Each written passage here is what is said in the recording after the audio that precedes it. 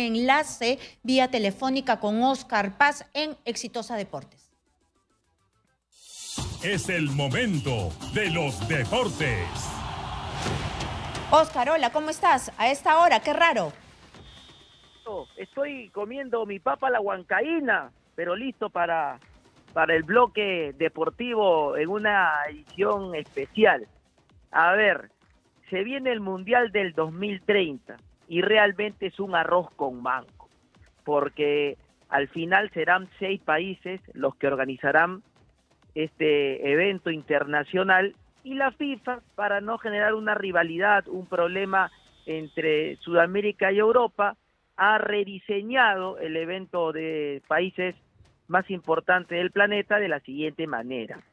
Como en el 2030 se cumplen 100 años de la Copa del Mundo, Argentina, Uruguay y Paraguay presentaron su candidatura para organizar el Mundial. Y por el lado de Europa, Marruecos, Portugal y España, aunque no es íntegramente Europa, sino también parte de África, presentaron su candidatura para organizar el Mundial. Entonces la FIFA dijo, uy, ¿ahora qué hacemos? Para no quedar mal con para no quedar mal y, tener a los dos tranquilos, porque esto es como volver su UEFA. Bueno, pues a, un genio se le ocurrió lo siguiente.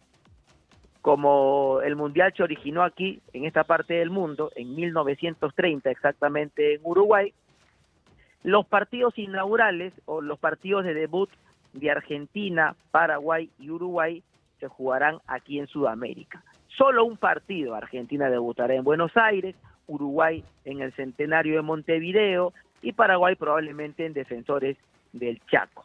Y después de estos partidos de la primera jornada de cada uno de las elecciones en sus grupos respectivos, viajarán a Europa para continuar con el resto de compromisos. Es decir, un arroz con mango. El resto de duelos se va a jugar entre España, Portugal y Marruecos. La final probablemente se realice en el Estadio Santiago Bernabéu, el remodelado, majestuoso, impresionante coloso del Real Madrid que tiene capacidad para más de 80 mil personas y para que no se molesten los portugueses ni los marroquíes, en un país, eh, en estos países se realizarán los partidos de semifinales. Así se ha rediseñado una edición extraña, rara, eh, nunca antes vista, nunca antes vista. Nunca antes vista, es verdad. Pero creo también que hay que acostumbrarnos, Karina, a la nueva normalidad, porque organizar un mundial es recontra caro. Además Pero también todo el turismo que viene es también recontra eh, ansiado porque deja mucha divisa, ¿no? Sin duda, pero tienes que transformar las ciudades desde el punto de vista de capacidad hotelera, aeropuertos, carreteras, estadios, es decir, tienes que eh, prácticamente tumbar la casa y hacer una nueva, ¿de acuerdo? Entonces, Argentina, Paraguay y Uruguay no tienen la capacidad para cumplir con los exigentes requisitos de la FIFA para albergar además un mundial que tiene de la próxima edición del 26 48 equipos, es decir, aumenta el número de compromisos. Entonces, como resulta caro para los países, ya vemos copas del mundo eh, organizados entre dos o tres eh, naciones. Por ejemplo, la del 26 va a ser eh, repartida entre Estados Unidos, Canadá y México. ¿De acuerdo? El primer mundial. 30, como me dices, entre seis países. Creo que la pandemia nos dejó misios entre dos países y después vamos a estar más misios entre seis países.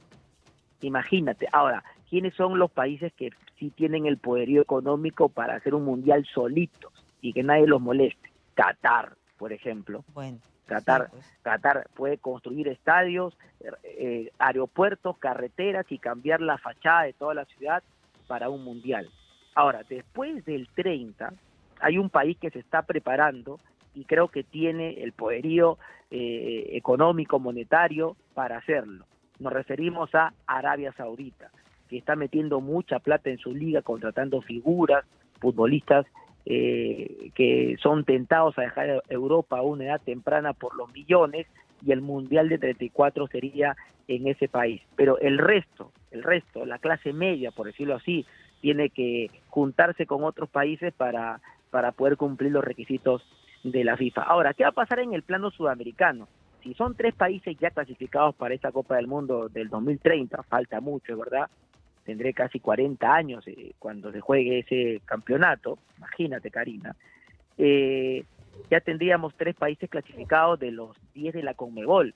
Y estos tres países, al ya tener su cupo eh, asegurado, automáticamente generaría que el resto de, países de Sudamérica también clasifique. Yo no creo que haya alguna modificación, o en todo caso eh, aumentarán los cupos para Sudamérica. Esto está pendiente todavía de definirse, pero definitivamente estamos, vale la redundancia, ante una situación bastante extraña y atípica, pero eh, la Conmebol celebra, o el señor Domínguez, que es el presidente de la Confederación Sudamericana de Fútbol, celebra como una victoria esto. Al final le han dado un premio consuelo. Ya Conmebol, para que no llores, eh, tus tres países van a jugar solo el partido inaugural, ¿ya? Y después ya se van a Europa. Se suben al avión y viajan 10 horas en pleno campeonato. Una situación bastante rara. Pero bueno, es lo que toca, estimada Karina. Muy bien, muchas gracias por la información.